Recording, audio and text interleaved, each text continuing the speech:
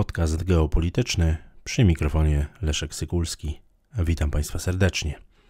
Dziś, 23 sierpnia 2023 roku, w godzinach wieczornych, jeden z kanałów w serwisie Telegram powiązany z grupą Wagnera o nazwie Grey Zone podał, że samolot, który rozbił się w obwodzie Twerskim, na pokładzie którego miał się znajdować Jewgeni Prigorzyn, został zestrzelony. Potwierdziła to także rosyjska Federalna Agencja Transportu Lotniczego, Rosawiacja, która również podała, że Jewgeni Prigorzyn był wśród siedmiu pasażerów samolotu, który rozbił się właśnie w obwodzie Twerskim. E, jak podaje kanał Grayzone, ten samolot miał zostać zestrzelony przez systemy, przez obronę powietrzną rosyjskiego Ministerstwa Obrony. E, samolot miał lecieć z Moskwy do Sankt Petersburga. E, na pokładzie tego samolotu, oprócz Prigorzyna, właściciela grupy Wagnera, miał też znajdować się dowódca i właściwy twórca tejże prywatnej grupy wojskowej, Dmitrij Utkin, pseudonim Wagner.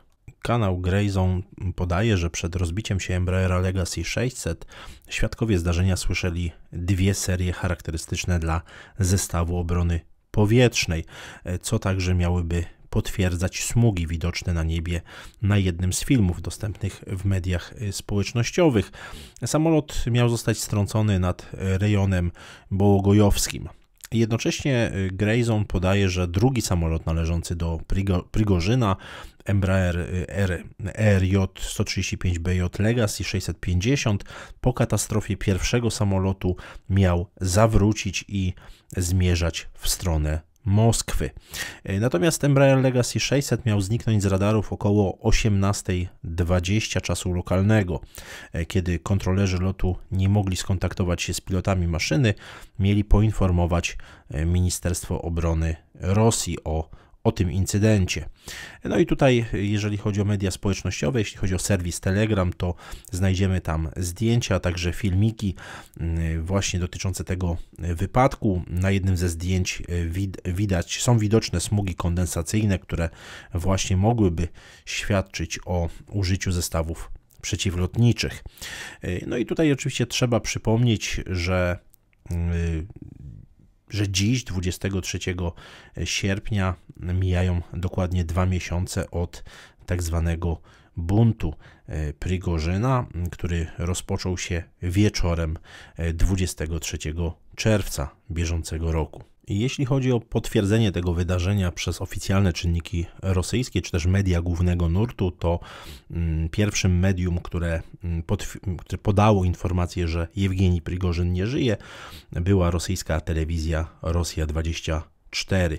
Rosyjska służba lotnicza już opublikowała pełną listę pasażerów samolotu, siedmiu pasażerów samolotu i e, trzech członków e, załogi, podając jednocześnie, że wszystkie 10 osób e, nie, nie żyje.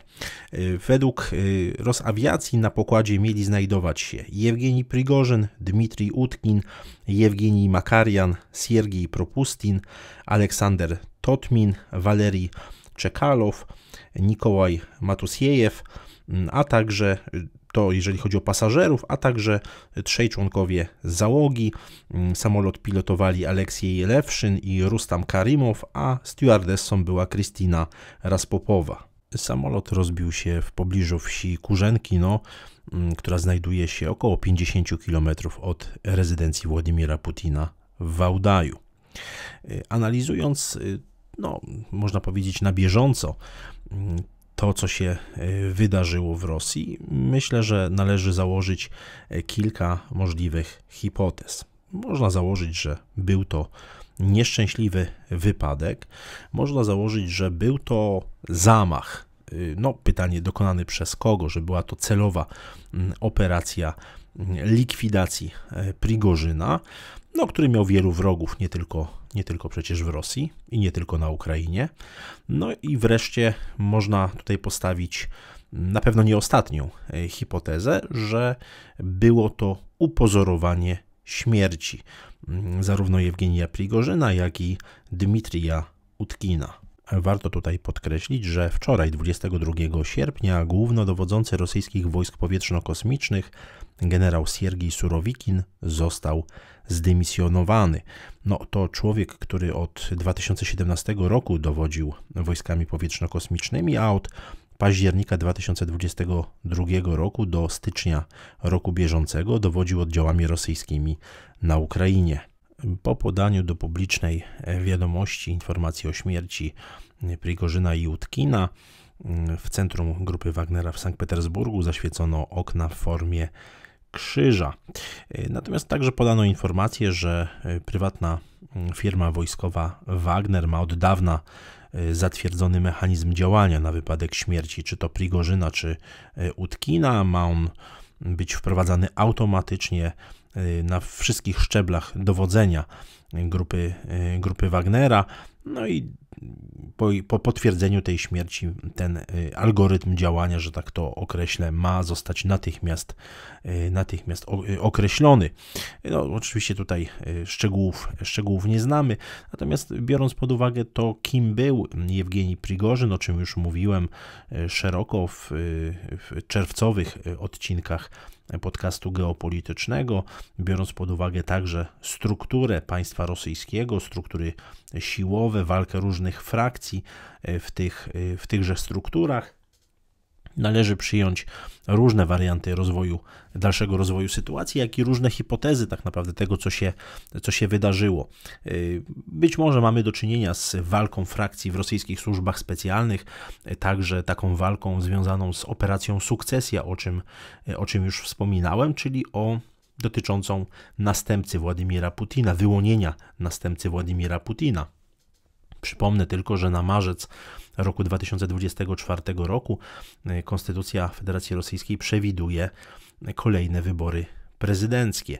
W związku z tym to nasilenie się walki różnych frakcji w rosyjskich tajnych służbach, służbach nie jest oczywiście e, niczym, e, niczym nowym, niczym, specy, niczym specjalnym, jeśli chodzi o historię historię Rosji. Natomiast y, też nie można wykluczyć upozorowania śmierci mm, dowódców, y, czy, czy dowódcy i właściciela y, grupy Wagnera. Mm, zresztą stare powiedzenie czekistów mówi o tym, że najspokojniejsza emerytura jest po, po śmierci. E, więc też tego nie można, nie można wykluczyć, że po wykonaniu określonego zadania, określonej operacji przez rosyjskie służby, dla rosyjskich służb specjalnych, obydwaj, e, obydwaj właśnie członkowie grupy Wagnera e, mogli, e, no mogli tak naprawdę dostać nowe życie. Nowe życie, tego też oczywiście nie możemy, nie możemy wykluczyć. Dziękuję Państwu za uwagę.